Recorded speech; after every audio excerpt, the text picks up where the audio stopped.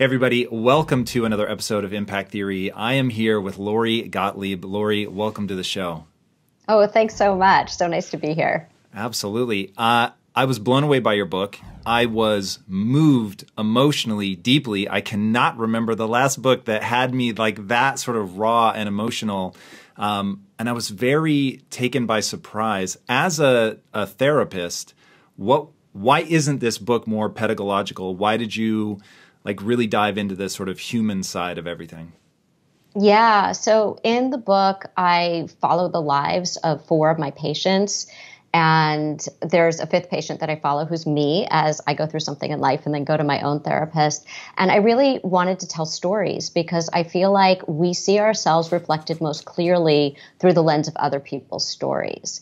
And so I feel like, you know, if someone says to you, you do this or you're like this or this is the thing that's keeping you stuck, we say, I'm not like that. I don't do that.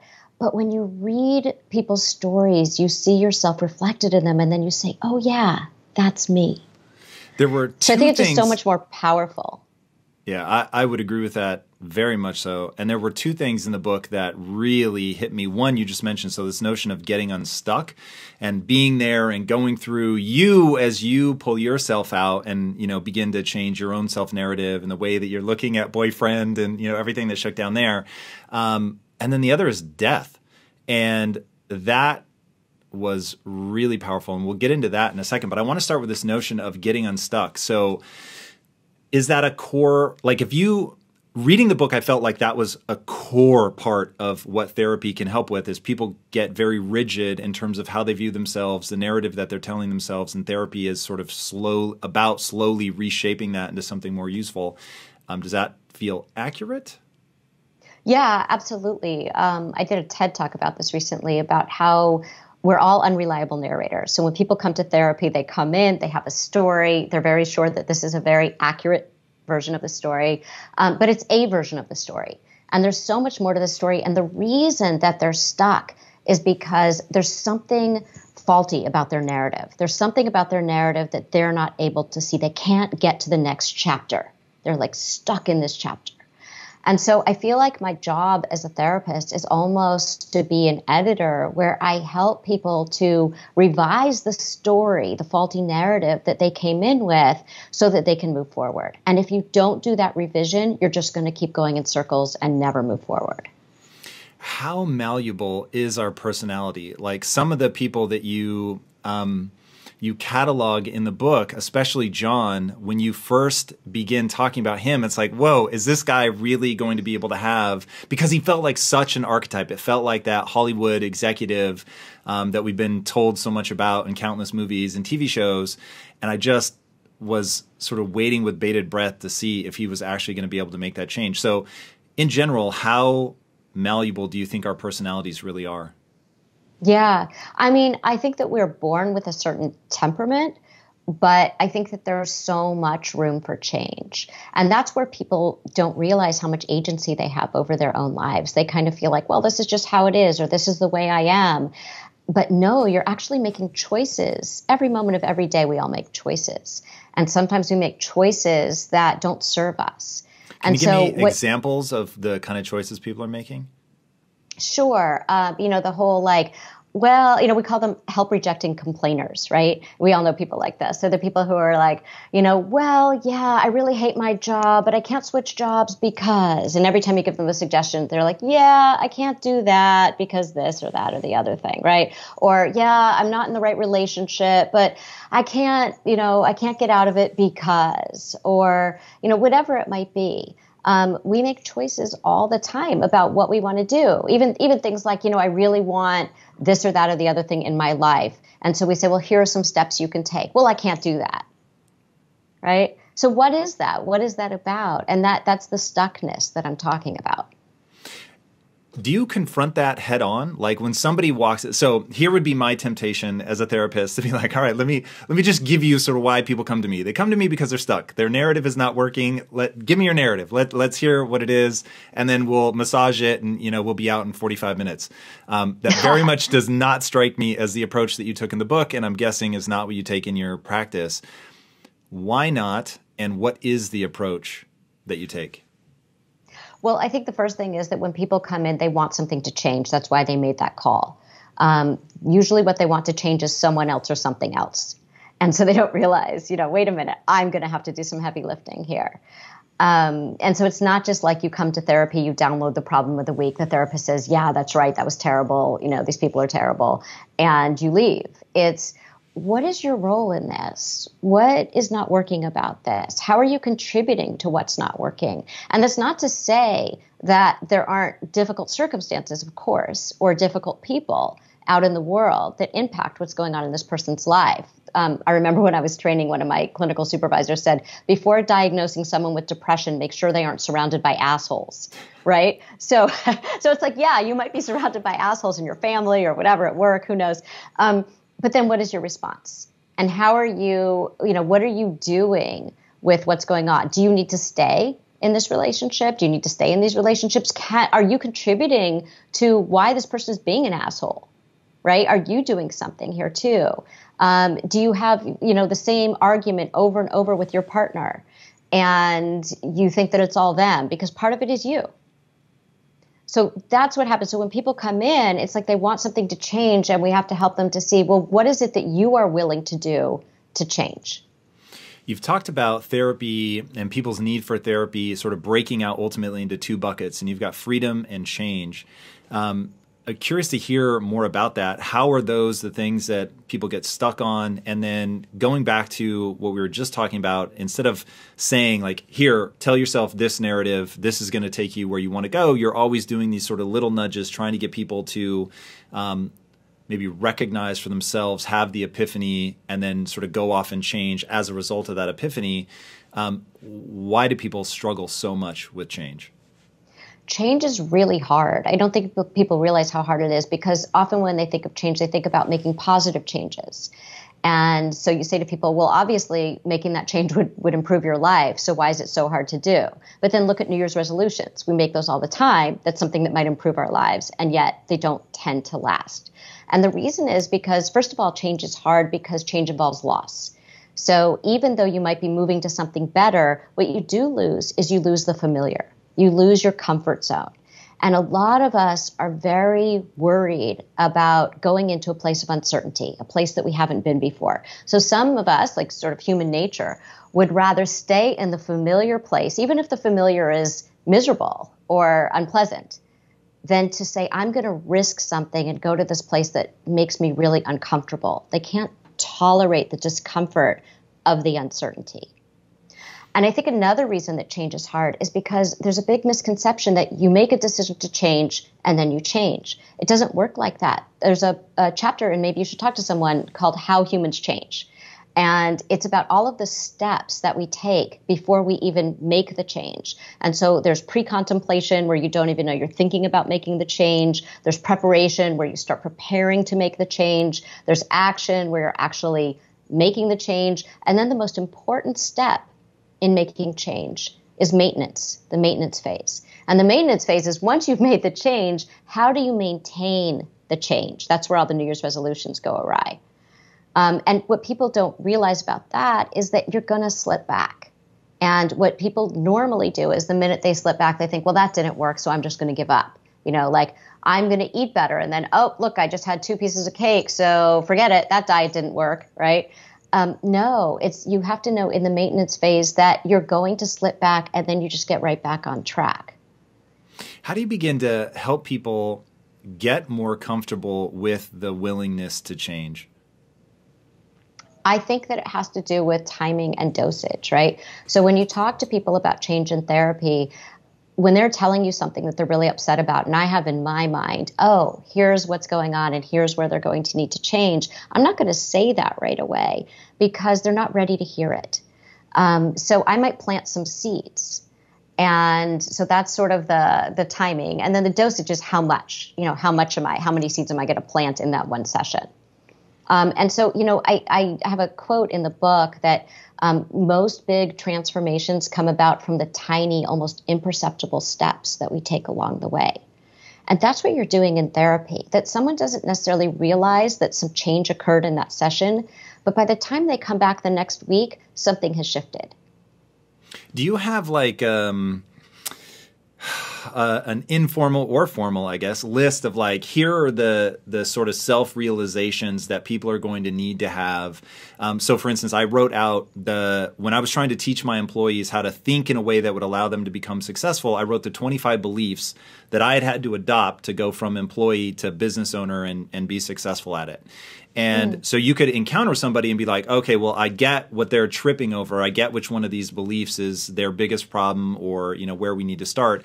Do you have sort of a rough guideline of how people need to think about themselves or how to the elements of a self narrative that will allow them to be successful and sort of begin ticking off the boxes as we go through therapy? Yeah, I'd love to hear what those are that you gave your employees. What, what were some of them? I, I have um, some I'll share with you. Amazing. So the some of the most important ones are human potential is nearly limitless. Um, you can do anything you set your mind to without limitation. And then the next one is that's a lie, but it's an empowering lie. And another one is we do that which moves us towards our goals. We don't do that which moves us away from our goals. Um, and on and on, just trying to, I'm trying to get people to believe that the average human is an adaptation machine that what we are literally designed to do is to acquire skills that skills themselves have utility. And so if you put time and energy into getting skills you're actually going to get better at something. Mean, you've shown that in your own life you know with the, all the different paths that you've gone down. It's pretty extraordinary how you know you've lived sort of all these different threads but pulled them together into i mean your your work is extraordinary but I think it's a result of you having gotten skills in writing and gotten skills as a therapist and gotten skills as a storyteller and now you're you know you're able to bring that together. So that's basically what the beliefs are, are trying to get people to understand. Skills have utility and you can gain new skills. Yeah. Well i mean i think i've always been interested in story and the human condition and so i just looked at it through different lenses. But I think the one thing that, you know, when we look at, you know, if I could make a list, I think what I would put first on that list is self compassion. So I think a lot of people don't realize that, you know, when I when I give talks, um, and I'll I'll say to people, um, you know, show of hands, who's the person that you talk to most in the course of your life? Um, you know, is it your is it your partner? Lots of hands. Is it your sibling? You know, is it your best friend? Is it your parent? Whoever. Um, well, the person that you talk to most is yourself. And what we say to ourselves isn't always kind or true or helpful. And so we don't even realize that this voice is there. So what happens is we are holding ourselves back because of this voice that some that we internalized from from you know a long time ago. Um, and so I, I, had this therapy client who um, she she didn't realize how self critical she was, and so I said I want you to go home and write down listen for that voice and write down everything you say to yourself in the course of a few days and come back to me and we'll talk about it. And she came back. She was very skeptical. And she came back and she started to read the list and she said, I can't even read these things to you. I can't even say them out loud because I am such a bully to myself. And she had no idea. And so when I think about what helps people to change, it's self compassion. People think that you need to self flagellate to move forward. They think like I have to be really tough on myself or I'm not going to hold myself accountable. Well, that's just not true because what happens is when you self-flagellate, you have a lot of shame. You're basically shaming yourself for not being good enough. But when you have self-compassion, you hold yourself accountable because you can be kind and gentle to yourself so that the shame isn't there. And if you can wash away the shame, you can take action. If you're bathed in shame, you're going to be so afraid of everything because you don't want to be further shamed by this voice in your head that's going to be like whipping you, right? Um, and so I think that one thing that I think is really important early on in therapy is to make sure that people are noticing how they talk to themselves, that they're being kind and gentle with themselves so that they can hold themselves accountable to make the changes they need to make. So now the question is how do you develop that self compassion? What does that look like? Is it self talk? Um, is it replacing the like you write down the negative things that you say and replace each of those with something that's more affirming and gentle? You know um, i had this patient whose um, mother would always make her feel incredibly guilty about every life choice that she made. And i said to her just because she sends her guilt doesn't mean you have to accept delivery and you know she can she can keep sending it. But you don't have to sign for it.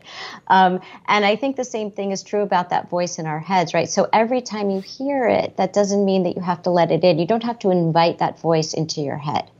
So when you hear it, you can kindly ask the voice to leave, and you have to be really aware. You know, in the beginning, it's really an exercise. It's really I need to notice what this is. You know, it's just things that we say to ourselves all day, like oh my God, you're so stupid for like something we did that if a friend did that, we would not think that person is so stupid.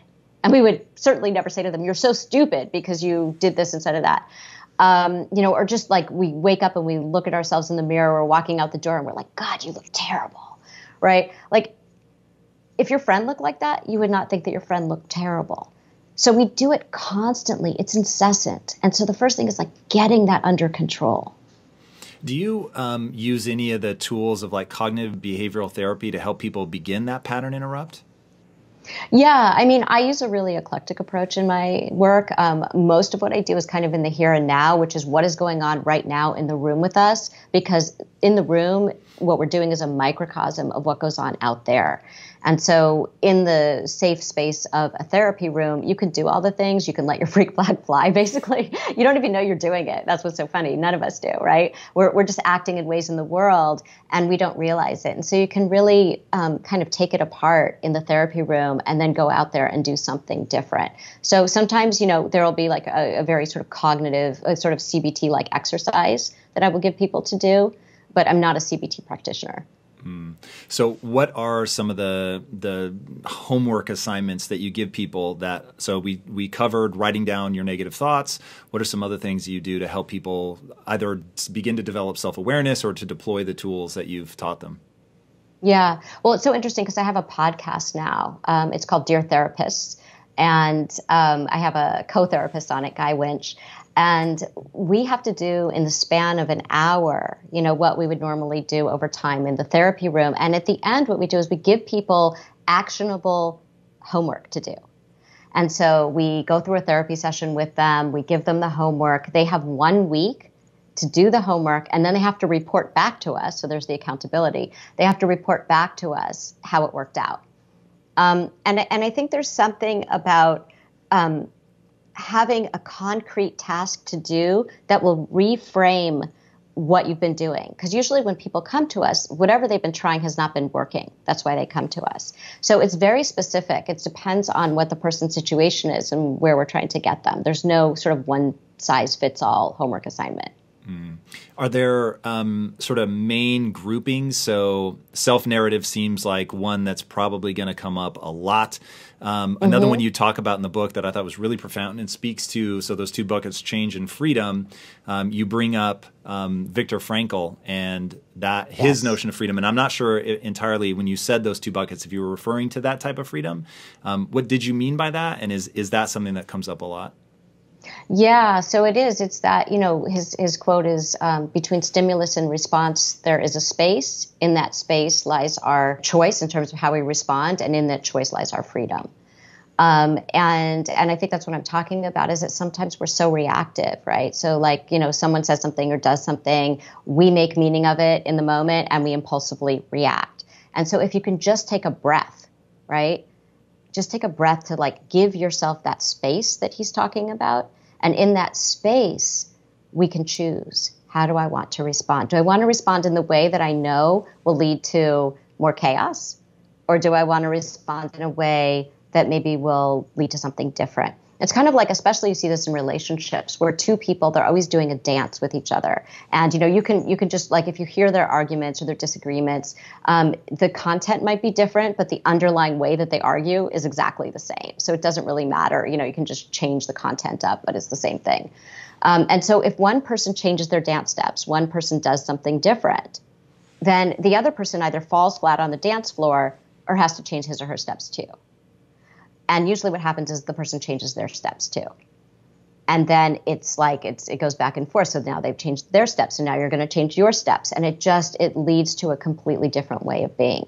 But but going back to your question about like other common homework assignments, um, another thing that's really common is asking people to perspective take.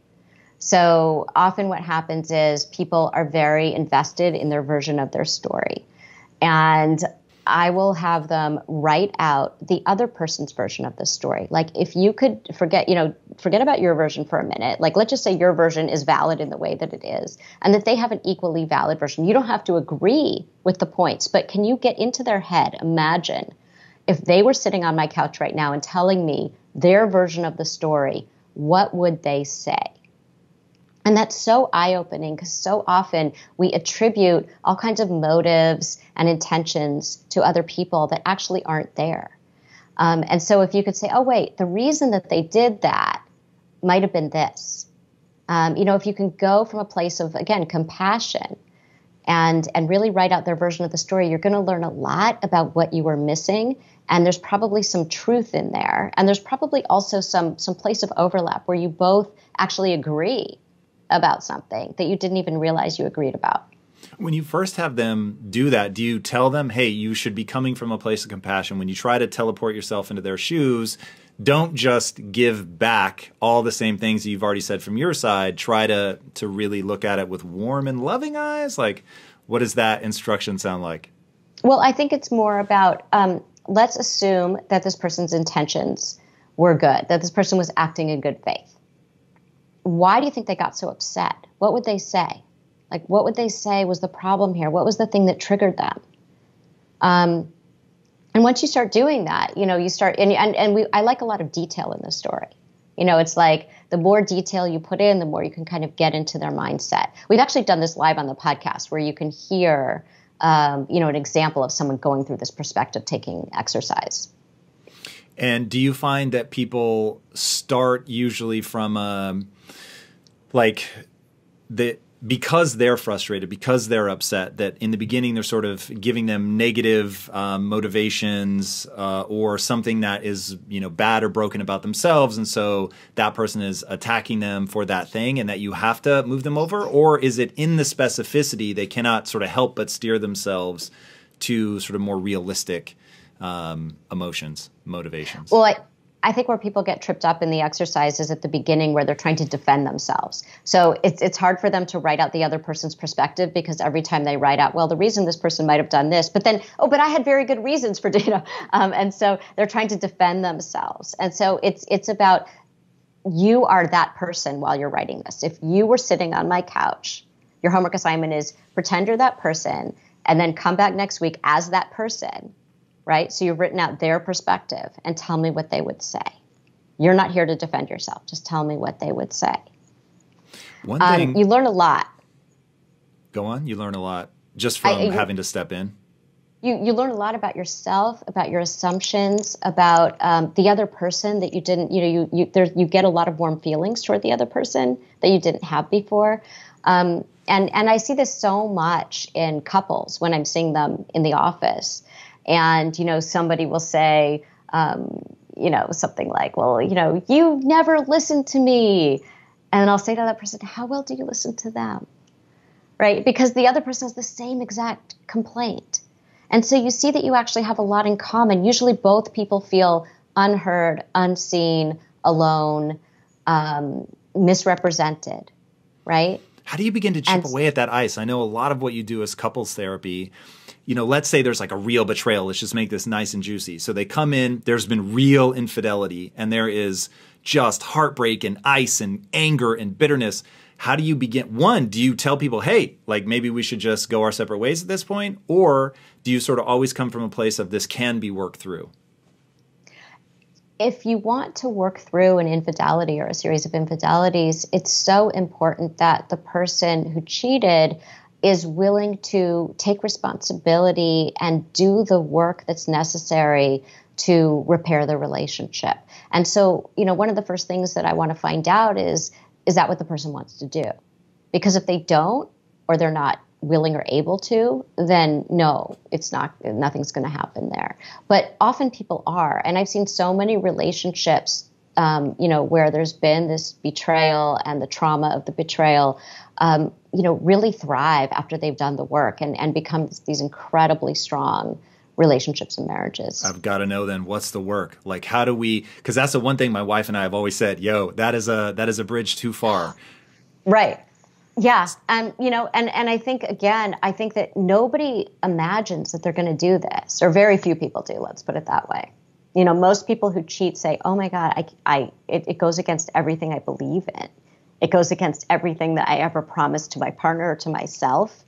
Um, you know, most people are not sort of setting out to do that and there are all these reasons that they do. And so um, you know i think in those cases when people are really able to examine well what happened for me? Why did i do that? And you know to really take responsibility for what happened understand what happened so it doesn't happen again so if I'm taking responsibility for that, I'm just saying, hey, look, I let myself get into this situation. I felt totally disconnected from you. I didn't think you loved me anymore. I didn't think you wanted. Me. No, but me. now you're blame, uh, you're blaming the other person right now. That's what? I'm trying to figure out. Like how do how do I how right. what so does that process? You did something. It's not about you did something and you made me cheat, right? And and that's the thing where I think is it makes it really hard to repair when somebody says like, yeah, what I did was wrong, but you know what? You made me feel like this. But no, you didn't. You know, nobody made you cheat. You know there are lots of ways to deal with feeling alone. There are lots of ways to feel with to deal with feeling disconnected. Um, you know cheating shouldn't be one of them. So um, you know so so it's really about understanding well what else was going on? And usually it has something to do with maybe how they were feeling in the now but often it's something about um, how they were how they felt about themselves in the past and how that came into the relationship. There's a saying that we marry our unfinished business and if Go you right? It's true. Um, if you don't take care of that unfinished business, you are going to bring every sort of psychological obstacle that you came into the marriage with into that marriage, and it's going to get in the way.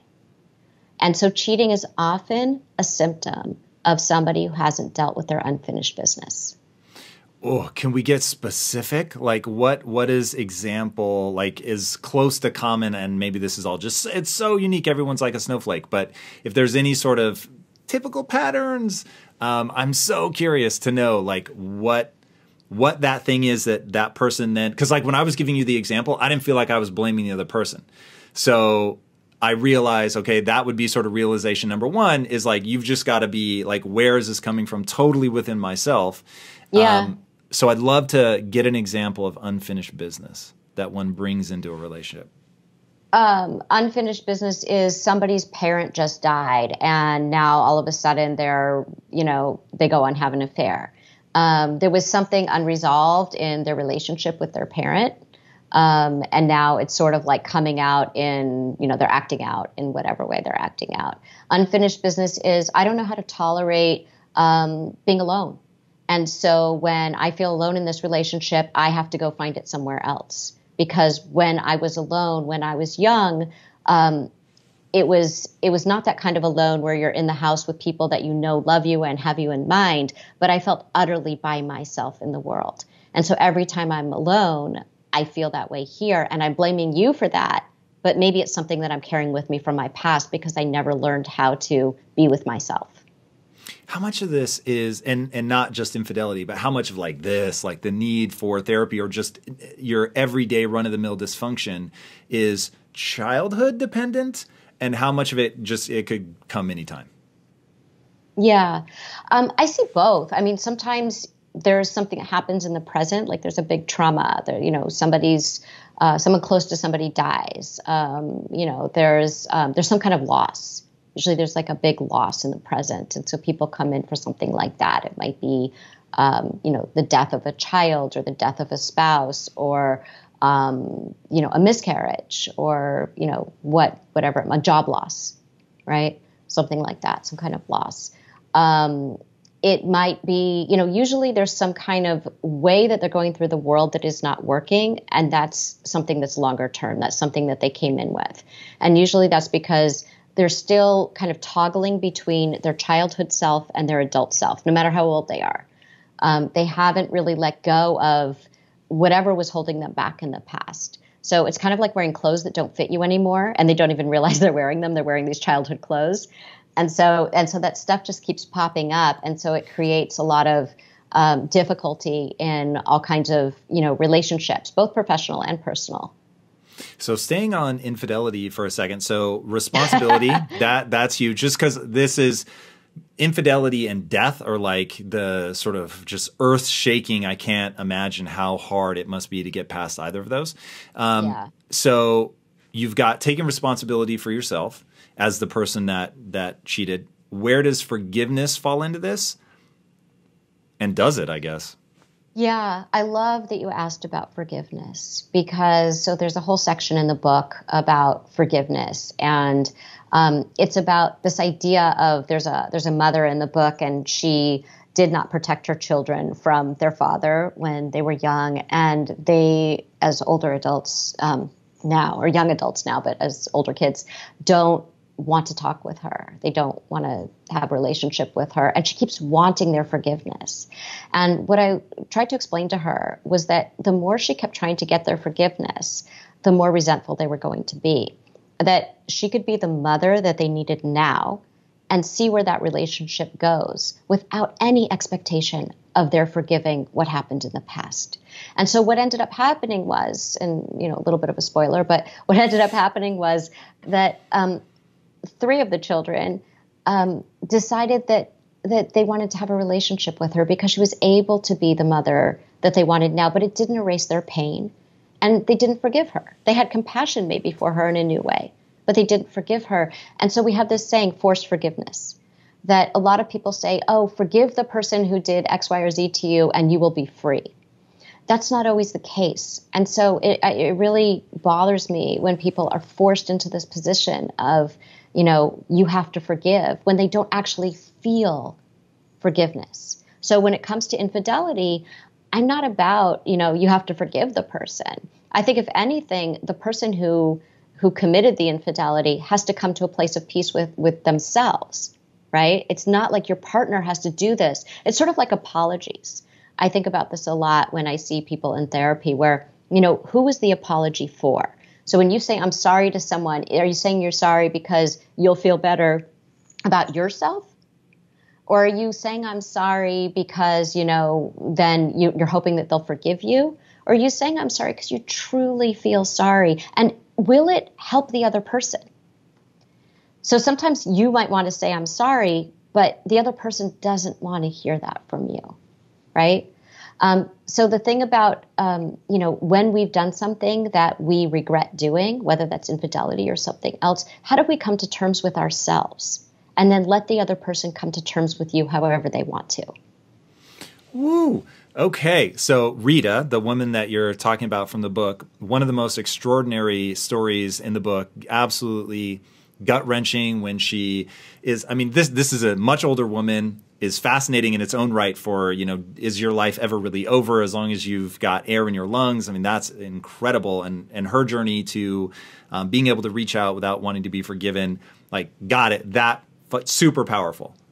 Now let's go to a couple that is staying married and not forgiving the person who cheated that seems like a recipe for disaster from my uh, naive not a therapist mind how does that work? Like, how can you be with somebody that doesn't forgive you? Like, I could see not forgiving the act and sort of like setting that on a shelf to the side somewhere or something. But like, oh God, I don't think I would stay in a marriage if the if I had done something that the person couldn't forgive, e- e- even if rightly so. I just wouldn't want to be in that stew, if that makes sense.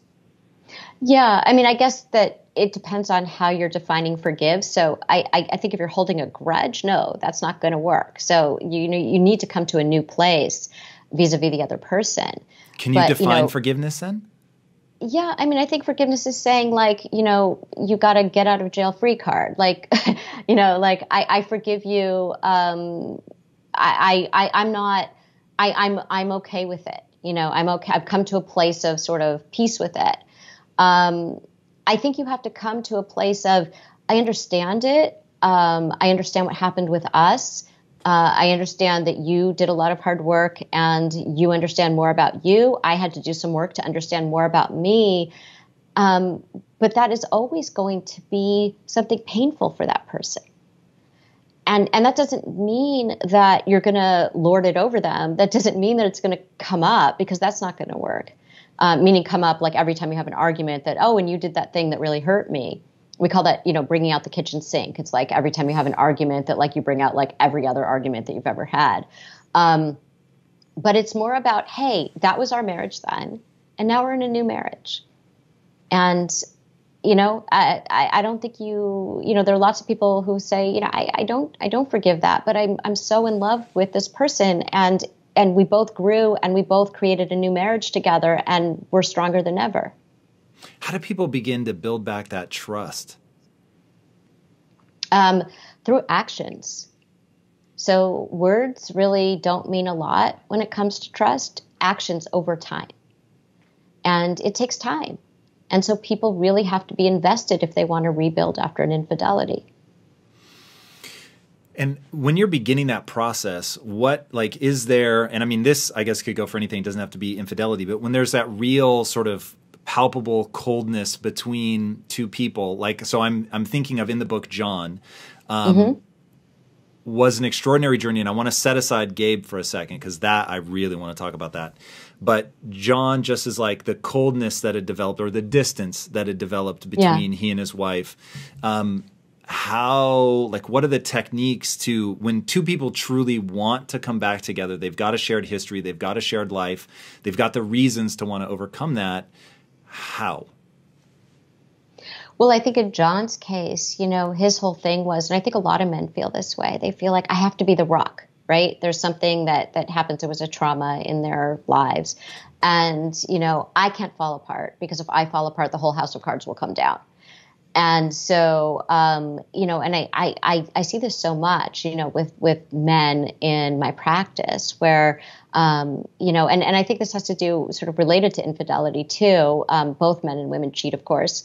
Um, but often I'll see that men aren't able to speak up.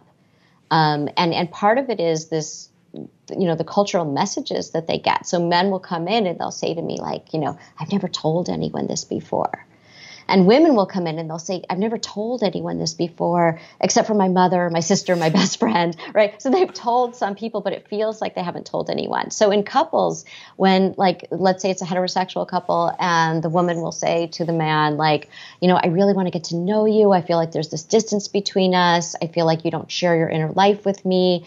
And so then he does, and he starts to open up and he starts crying. And he starts really crying.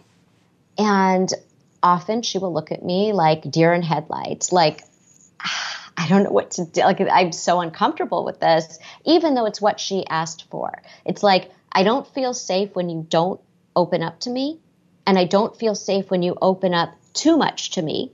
When you start crying, you know, and, and I start to feel unsafe. It's like Goldilocks. It's like not too much, not too, you know, like like not too little. Like there's just sort of this right amount of of emotion that a man can share. And so I, I hope that that's changing in our culture because I think both men and women would be much happier um, if we could all walk the walk, which is, um, you know, if you say you want men to be vulnerable, give them the space to be vulnerable. Where do you think we bump up against um, nature on that one? And I, I am well aware that trying to tease out nature and nurture is, you know, in any sort of delineated perfect line is is impossible. Um, but I, I will say, I believe, and I'd be very curious to hear what you think, that so science points that we are roughly 50% hardwired and 50% malleable. And if that's true, I would say that certainly some of that hardwiring has to do with our sex. And like when you tell the story that um, you know, guys will say, "Oh, I've never told anybody this," and girls are like, "Oh, I've never told anybody but." Da, da, da, da, da. Like I don't I don't feel, and I could be totally wrong. I'm willing to accept that. I don't feel like I'm I feel that way. No one ever told me not to cry. In fact, my mom always encouraged it.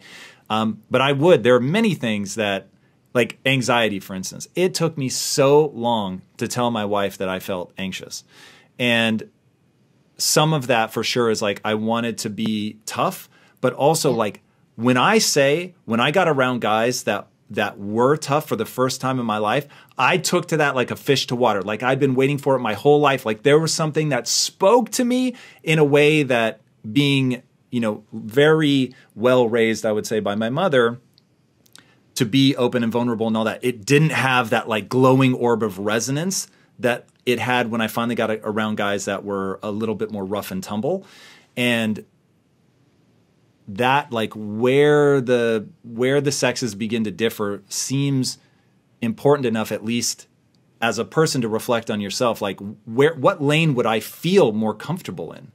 And so I'm curious like how that plays out. If you think that there really is like in this particular example and I've heard you talk about this before and I'm so glad you brought it up now cuz I'm so curious to to get your answer on whether you think like there is just a certain amount of like women will have some kind of reaction if the guy doesn't have a certain amount of stoicism. Nobody wants to be dating a rock, but like a certain amount of stoicism, like if somebody rolled up and was physically threatening, that the guy isn't going to crumble.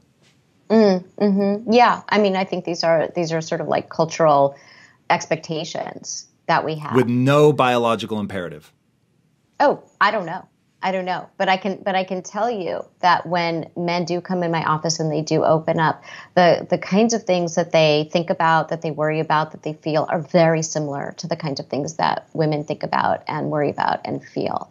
Um, you know, what does it mean to um, you know, what does it mean to be loved? What does it mean to love? Um, what does it mean to be accepted? Um, what does it mean to be a good parent? What does it mean to be a good um, you know, son or daughter, right? Um, people have the same concerns about life. Um, you know, what does it mean to um, to succeed? All of those questions.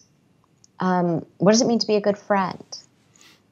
So I, I, think we just don't give men the space to talk about some of these things. I'm not saying that men and women are, are wired exactly the same. I'm not saying they're exactly alike, but I will say that there's so much more commonality and that when people can be open to that commonality, I think that the relationships are much richer. I wish that we had seven hours. There are so many things to, to go down with you. One thing I would stab myself in the face if we didn't have plenty of, plenty of time to talk about is Gabe trauma. Mm. Tell people the the John and Gabe what their relationship was and how it came out, and then I was going to ask if if you saw it coming. Yeah. So, um, so not to create a whole spoiler in the book, but um, for those people who haven't read it, but uh, John is this person who, when I first meet him, he is incredibly successful in his work. He works in Hollywood, and uh, he he's very unlikable. He's very abrasive. He thinks he's better than everybody else. Um, he's having trouble sleeping. He's having trouble with his wife. And uh, he kind of feels like everybody is an idiot and he knows better and um, and and I, you know, people said to me like, why would you treat him? Why would you see this person when he was so insulting to you from day one? And it's because I think that people's behavior speaks the unspeakable. And he definitely, you know, when you talk about Gabe, that was the unspeakable. So there was something that had happened in his life that he had talked to nobody about. And he also had some sort of stuff from his childhood, you know, that that you know he lost his mother when when he was young and um, and so it was really about just you know I knew I was going to have to figure out what was what was the source of his pain because people act a certain way because they have to keep you at a distance so that you can't see their pain. So if he could keep everybody at bay with his obnoxious behavior, then nobody could get close to him and nobody could see his pain. And you know when I found out what it was, and it was it was you know I, I wasn't expecting what it was. Um, you know it was it was really traumatic for him, and um, and he'd been carrying this around for years, and had talked to nobody about it because he felt like he had to be the strong person in the family. He had to be the person who couldn't, you know, what he called it falling apart, right? Um, and and what he came to learn was that it actually weakens people. So when you when you think you're being strong by pushing down your feelings you're actually you know your psychological immune system is like in overload. And you're you become incredibly shut down and you can't really live. You're like alive but dead. You're alive you're going through the motions but you're not living at all. And so it was once he was able to feel the pain and experience the pain and share that um, he was able to live again. And so it's like sort of, you know, counterintuitive. We think, oh, I, I, I will die if I feel this kind of pain. No, you will die if you don't feel this kind of pain. Yeah, that was so well articulated in the book. And Lori, I have to imagine people lavish you with praise for how well the book is written because the book is written freakishly well. the oh, way that you. you. interweave the stories. Um, I I was truly moved, and for people that watch my podcast, that they will sense my sincerity to my toes. Um, it was just handled so so well with the way that you're sort of parallel tracking the different lessons and how what you needed to learn in therapy is tied to the people that you're being a therapist for and like the way that the the different realizations begin to unlock things in your life and their life. And oh man it was just absolutely crazy and he, like trauma childhood and trauma freak me out. Childhood freaks me out because I don't like that you can't undo something, that there's this magical period in your childhood. And if that's fucked up, like, hey, sorry, it's just like you're in trouble for the rest of your life. Well, no. So I have a really different view of that. So oh, I think that a God. lot of people yeah, well, yes, because that, that was such a grim view of life. Um, you know, some people feel like they get into young adulthood and they feel like they want to redo. They want to redo on their childhoods. And you can't move forward until you accept the fact that you don't get to get, you don't get a redo on your childhood. And if you can live with that loss, right? I don't get a redo on my childhood, but here's what I get I get the freedom of adulthood. And you will not be free in adulthood if you are holding on to this hope for a better past. You cannot move forward to a better future if you are holding on to the hope for a better past. So that's the work of therapy. The work of therapy is you're not going to get a redo. How do we deal with that loss? And then how do you use the freedom that you have now to create the kind of present and future that you want, that you didn't get to have? So, how do you deal with that loss? Do you just have people reframe it? Is it focusing them on what they could have if they were willing to let go? Is letting go the right word? Like, what is that? Well, I think there's this fantasy. There's this fantasy of, you know, if my past had been this way, then everything would have worked out perfectly. And I think it's helping people to see a more balanced view of their lives um, and I think it's also to help them see the, you know, what they have learned from the experiences that they've had so they can integrate that experience into their lives. So, you know, when we talk about moving forward from the past, we're not talking about, um, you know, forgetting it happened or pretending it didn't happen or saying, I don't feel pain around that because you will but it's more about how do I integrate that experience into my life so that I don't compartmentalize it and it comes out in all these unconscious ways that where I self sabotage left and right because that's what people do when they're not integrating the experience into their lives. They self sabotage in all kinds of ways.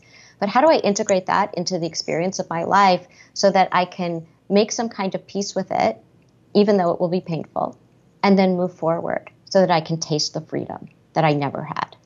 Thank you so much for coming on the show. Where where can people find out more about you? You've got so much going on.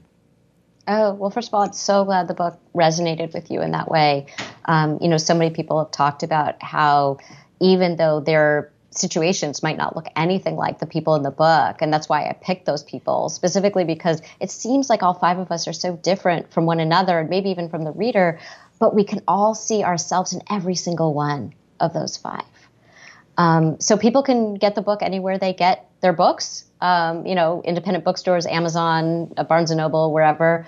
Um, and uh, people can watch my TED Talk uh, at TED.com. They can uh, listen to the new podcast called Dear Therapists um, on Apple Podcasts or anywhere they get their podcasts.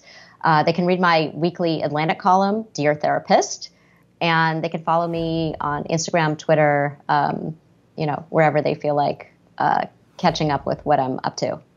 Very cool.